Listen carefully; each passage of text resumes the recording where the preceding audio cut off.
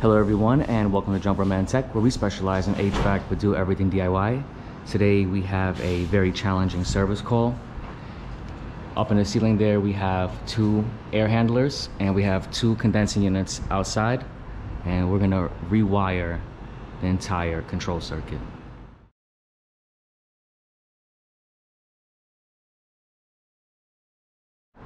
Thank you to everyone tuning into Jumperman Tech. Up there we have the two condensing units and up in the ceiling we have the two air handlers. I was here on a previous visit. As you can see we have one thermostat but it's controlling four sections of units. And how is that possible? Well, if we go under here, we can see a bunch of madness. But over here is just truly unbelievable. Look at all those relays he installed. There's literally four transformers in this whole setup. I literally said had enough of this because the we had too many shorts the breaker kept blowing its fuse excuse me the transformer and you know what it's just time to go so I had an idea how about we rebuild the entire low voltage circuit this unit is being replaced in three months and it's honestly pretty much already done but we have a party tomorrow in this event space and they need air conditioning. So instead of one thermostat for two units, we're gonna put a thermostat for each unit. We're gonna run all new wire to the air handlers and then outside. Inside, we're gonna use a contactor and a transformer and outdoors, we're gonna put a new contactor and I do have the capacitors. 210 microfarads for the outdoor excuse me, for the indoor and five microfarads for the outdoor. Transformers are using are gonna be universal. This one I installed the breaker type where the previous one was fused. So this one's ready to go. We're gonna install another transformer contactor there and pretty much just a bunch of madness today. So let's just hope and see if this works. Here I have two thermostats. I'm gonna get rid of this one and mount the two over here as it's pretty much out of everyone's way. And then run the wire up and to the air handler. So let's mount these and start to run that wire. All right, so I mounted two thermostats and I wired it internally.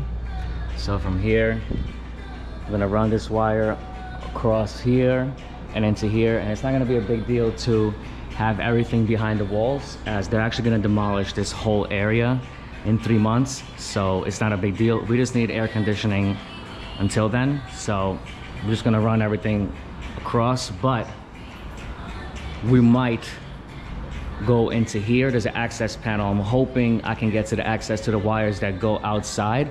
So if anything, I can splice my connection and then we already have wires going out there. Hopefully those wires are good and there's no issue.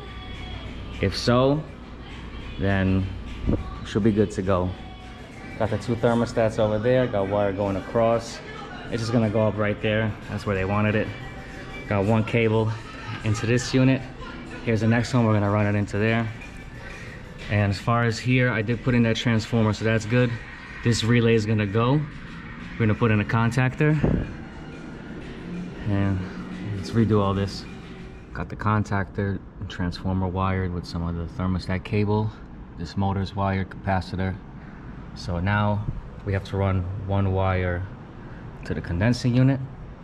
And then pretty much what we did here we're gonna have to do at this unit. So at that point, both thermostats will be wired and both air handlers will be wired. All right, so we pretty much got this side wired as well. Here's my common OB terminal for our solenoid valve, and here's our Y wire for our condensing unit, compressor and condenser fan motor. So this one's pretty much done. This is honestly one of the craziest jobs I've definitely ever done. So thermostat and air handler wired, thermostat, air handler wired. Now, what we need to do is run a wire from here to one condensing unit and another one from here to the next condensing unit. But in that hole right there, it looks like we can get to the wires that go outside. So let's see what we can get in there. But we're gonna have to snake some wires from here to there, and one from there to there. Here we are at the condensing units. So we're gonna get rid of this contactor. It's a three pole. Really should be a two. And pretty much get rid of everything here except our capacitor. So let's go ahead and figure out how to wire this all up. All right, we got everything in. Got this all connected. Just got to make the last thermostat connection at the blower that goes outside. And we should be able to at least test one. All right, guys, it's the moment of truth. I programmed the thermostat. Let's go ahead and turn it on. Menu, fan is on auto. Let's put it on on. Done. I heard a click.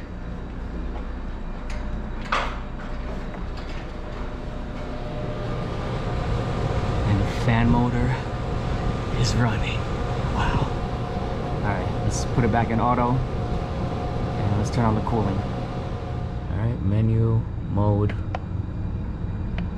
cooling, done. Drop the temperature.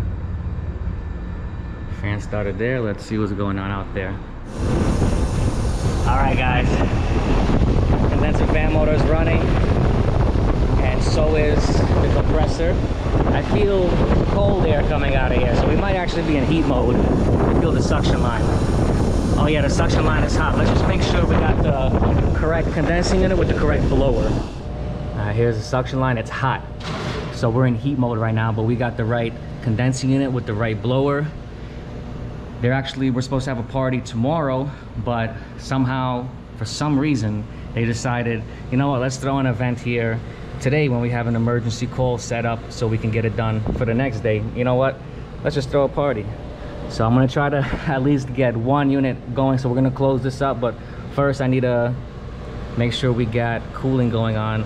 I left these two wires disconnected for the reversing valve. I just gotta make sure that I wire that correctly and we should be good to go.